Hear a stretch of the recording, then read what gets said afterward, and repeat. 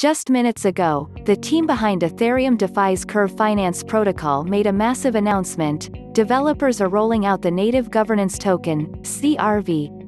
In the project's Telegram channel, the pinned announcement reads, the launch of the Ethereum-based token is already controversial as the contracts for the cryptocurrency were technically deployed many hours ago.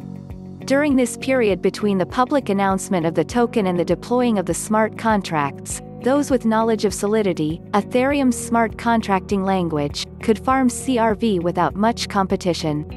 Admins of the project do not see this as a large problem because only 2-3 hours worth of CRV were issued over this period.